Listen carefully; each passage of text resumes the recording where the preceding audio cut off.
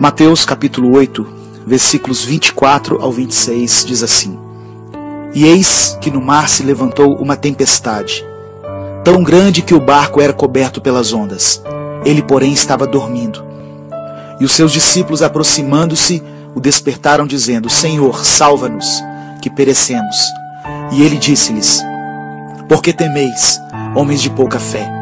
Então, levantando-se, repreendeu os ventos e o mar, e seguiu-se uma grande bonança. Muitas vezes Deus permite que passemos pelas tempestades em nossa vida. Mas saiba que em tudo Deus tem um propósito. Nada acontece por acaso. Quando Jesus está no nosso barco, nós podemos passar pelas tempestades com confiança. Ele não vai permitir que naufraguemos. E Deus usa as tempestades para nos ensinar algumas lições. As tempestades acontecem para que nós aprendamos a depender de Deus. Muitas vezes queremos andar independentes, confiantes na nossa capacidade e nas nossas habilidades para resolver as coisas. Mas assim como as tempestades vêm do alto, o socorro para elas também virá do alto. As tempestades fazem com que nos aproximemos mais de Deus, pela oração. Os discípulos clamaram a Jesus quando perceberam que corriam risco de morte. Ser humano busca a Deus com mais intensidade quando passa por grandes adversidades e principalmente quando se vê cercado pela morte.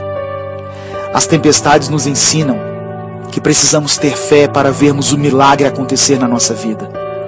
Mesmo tendo visto Jesus fazer tantas coisas maravilhosas, os discípulos ainda não tinham fé suficiente para confiar nele. Mas depois daquela experiência, eles entenderam que aquele era realmente o Filho de Deus, a quem até o mar e o vento se submetiam. As tempestades, elas também nos mostram que não existem problemas tão grandes que Deus não possa solucionar. Por pior que seja a tempestade que chegou até você e sua casa, Deus é poderoso para acalmar o mar e os ventos e fazer com que tudo volte ao normal. Deus permite as tempestades, porque depois delas seguirão tempos de bonança. Eu não sei que tipo de problemas você tem enfrentado em sua vida, quais são as tempestades que têm te atemorizado.